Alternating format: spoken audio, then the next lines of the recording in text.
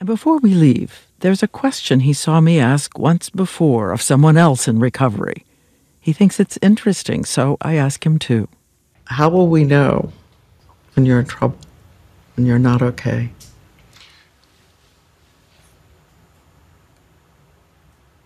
If I say, I'm just going to chill alone at home tonight.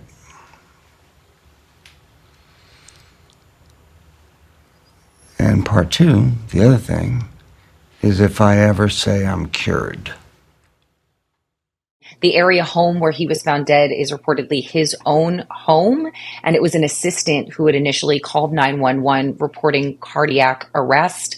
From what we understand, this was first reported by TMZ, but several outlets, including us, have confirmed it in in that time. And from what we understand, he'd spent the morning very active, playing pickleball for a few hours, came home, sent his assistant out on an errand, and when the assistant returned a few hours later, found him in an apparent dire condition. I don't know if he was dead at that point or suffering some sort of heart attack, but he was found in the jacuzzi. Mm. What's unclear is whether or not he was just in the jacuzzi when he died or had drowned in the jacuzzi. So there's quite a few questions there. And dailymail.com has spoken to a longtime friend of Matthew Perry's and someone who was in recovery with him who said he spoke to Matthew Perry just a few weeks ago and he sounded upbeat and sober and great. So this came as a really big shock to even people in his inner circle. I think there are fears among people who knew him and of course people who are fans of him that he could have potentially relapsed. But according to this source that we had who knew him pretty well, the last time he spoke to him,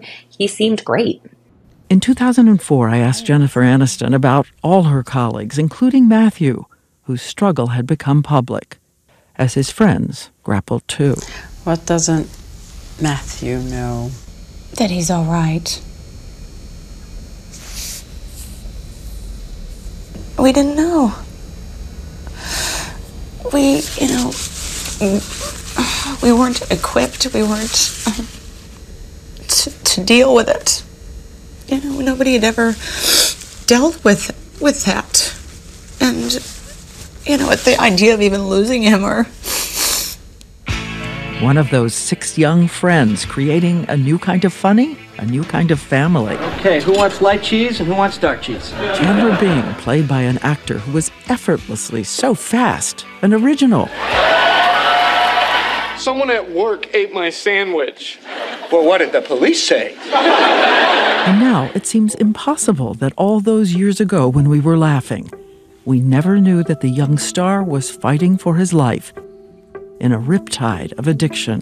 It was pulling him to hell and back over and over again, and he was trying to keep it a secret from everyone. Secrets kill you. Secrets kill people like me.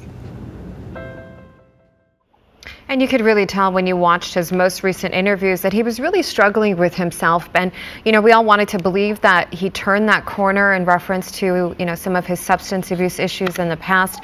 Sam, do we know anything about the circumstances leading up to his death? Maybe what he was doing in recent days? Was he alone? Any insight into that? Not not so much, Alina. I'm sure we'll get more of that in the next few hours or next few days. We do know that he had a new residence, that he moved into a new place recently, uh, and that he was the type of person who moved with some degree of regularity.